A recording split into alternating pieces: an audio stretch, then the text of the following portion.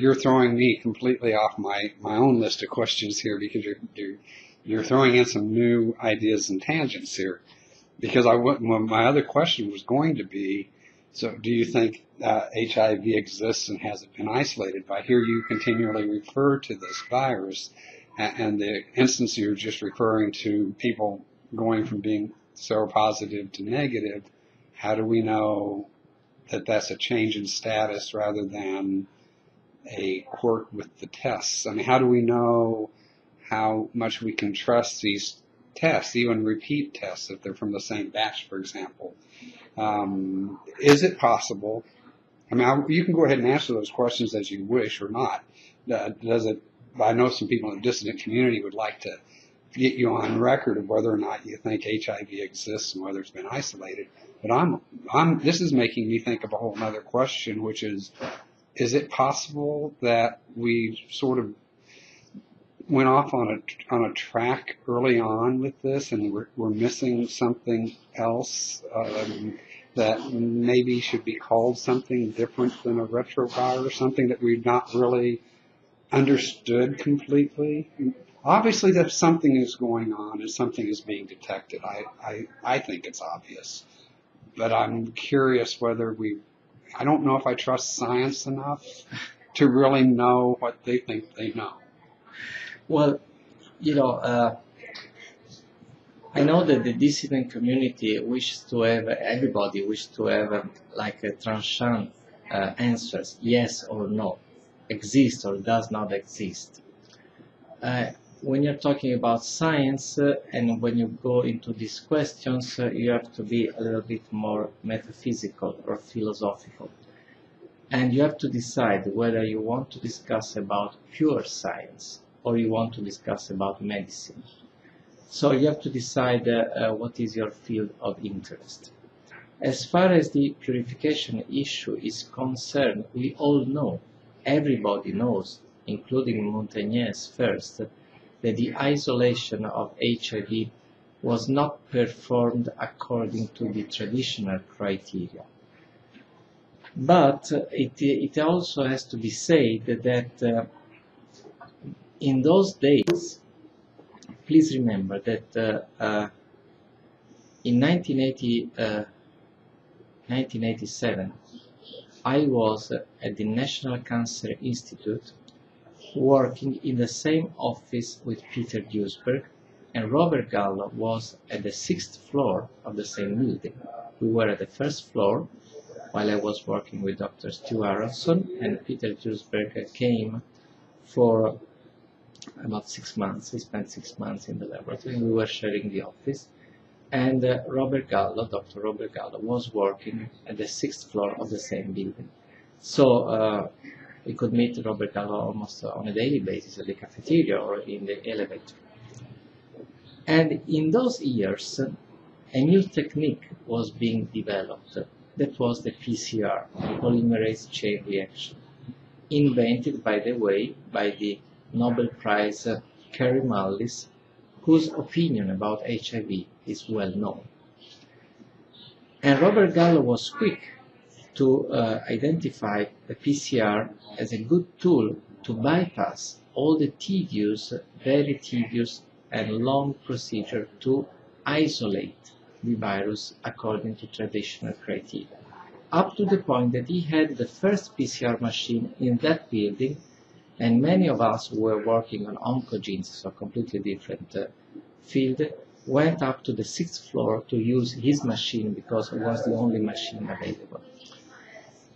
So the fact that the virus was not isolated according to the traditional criteria, that is the electron microscopy, was also due to the fact that this new technique was emerging in those days and everybody wanted to use that technique to identify not only viruses but also genes that were responsible for tumors as was as it was our case at the first floor.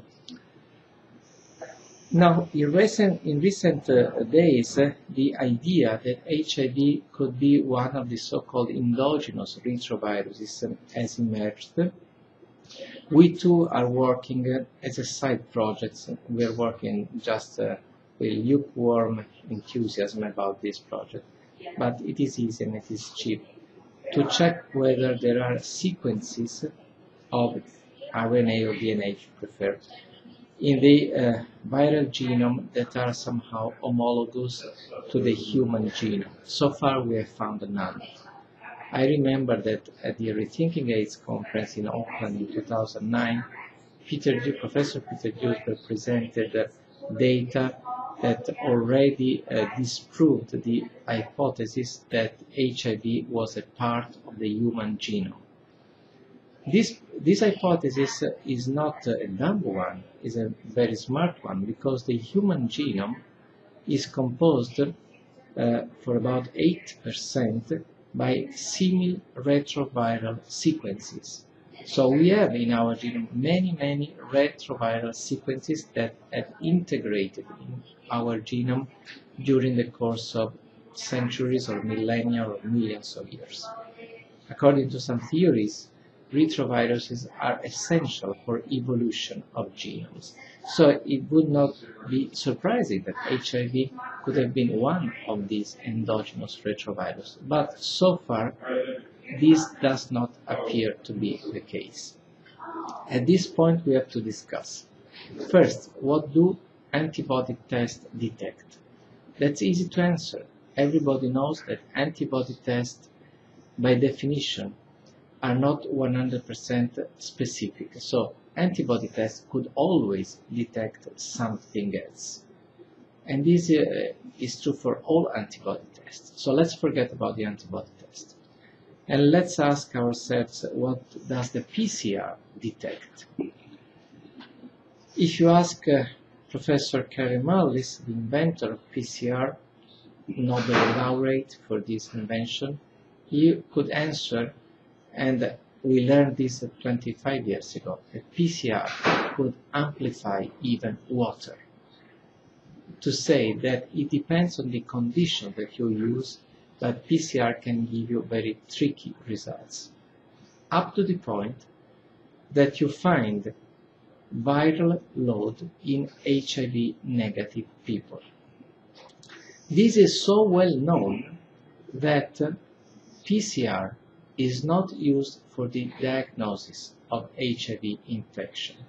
As you may know, all over the world, for legal purposes, a person is defined as HIV positive only if he or she has antibodies detected by two methods, ELISA and Western blot. Now, when PCR was invented uh, many years ago, everybody thought that that would be the solution to the HIV dilemma because the so-called window time would expire, would disappear. As you know, if you contract, if you uh, are infected by HIV today, it takes about uh, one month, two months, three months to develop antibodies. During that period of time, you don't know to be infected, but you could be infectious. And so, you know, it's a real problem because uh, you could spread the infection. That's a, a reason as pure Orthodox now.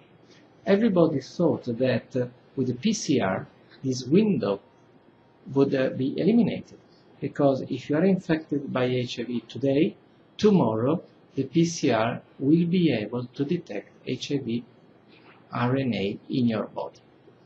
Now, please ask yourself, how comes that PCR is not used as a diagnostic tool, has no legal validity to detect an HIV infection. It is used, as you perfectly know, only to monitor the effects of therapy. That's the only use of PCR. And the answer is because PCR can be positive, you can detect a viral load in HIV negative people. This was demonstrated in 1995. And risk of interrupting you, being HIV positive and on antiretrovirals, it lowered my viral load to near undetectable. Now that I got a shingles outbreak, I'm told that, that the herpes virus could send that viral load clear up. Though, does that mean that the HIV virus has overcome the drugs and is replicating, or is it is there some some kind of fuzzy matter in this in this PCR test? Well- is it possible that it You don't want to be subjected to three hours of lecture on molecular No, and I know we've already um, almost exceeded the entire time that I wanted to spend on our interview here. So it was, we can consider it a rhetorical question if you'd like. Uh, but you know, uh, you know the answer. Uh, many people think that when you look at the so-called viral load, you count the number of viral particles in your blood. So many people think that this is the this is what happens, and this is not the case absolutely. The genome of the HIV is a small one. Nevertheless, the PCR amplifies only a minor, very minute part of that genome using uh, uh, things that are called primers that are specific, but as always, uh, not 100% specific. So there is the possibility that you label as viral load some sequence that is not related or is poorly related to HIV. That's why there is this conundrum of finding viral load in HIV negative people. And that's why people are still studying and publishing methods to detect HIV infection beside PCR, beside antibodies. Just wonder, if in 2012 people publish in a major journal like Blood a new method to detect HIV infection, this means that the old methods are not, I would say, at least 100% reliable. Otherwise, there would be no need to look for new methods. Nobody looks for new methods to detect tuberculosis infection.